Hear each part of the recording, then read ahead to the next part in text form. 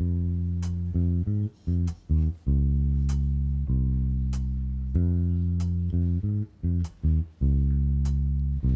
gonna fight them all. A seven nation army couldn't hold me back. They're gonna rip it off. Ég fíla þetta. Taking their time right behind my back. To myself at night because I can't forget. Back and forth through my mind behind a cigarette.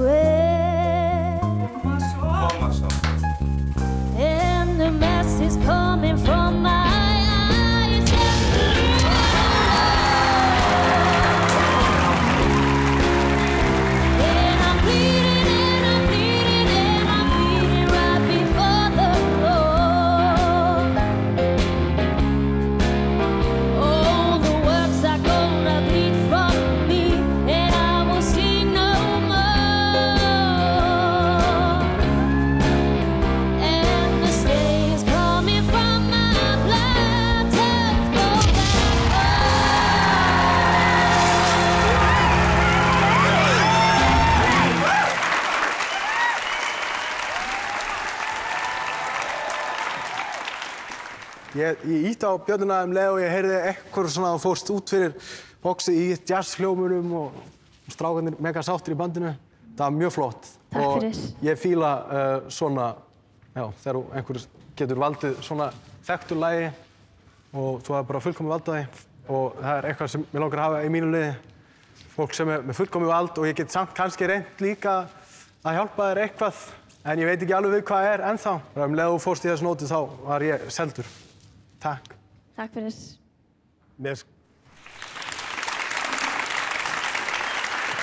finnst gaman að heyra ert með þroska rödd hérna með hennan aldur og hérna og að þú skulle vera að syngja svona rock'n'roll finnst mér náttúrulega alveg aðeinslega og hérna mér finnst það bara frábært. Ég held þú sért í mjög góðum höndum og verður erfitt fyrir að velja á milli þessara þryggja sem þú hefur hérna sem þjálfara.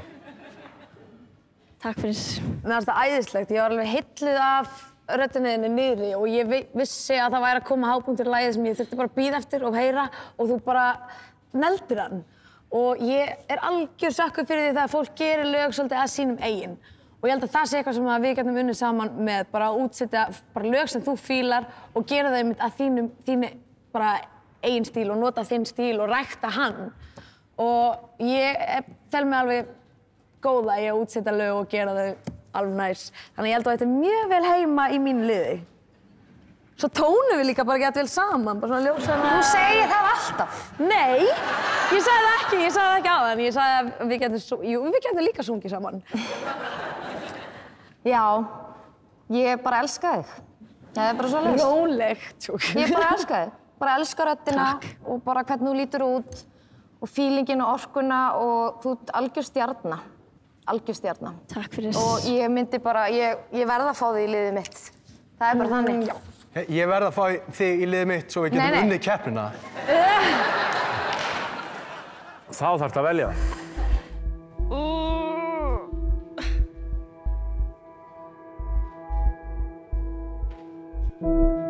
Ég ætla að velja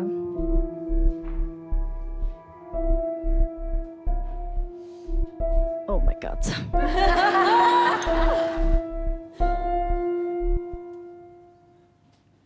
Ég ætla að velja Svölu.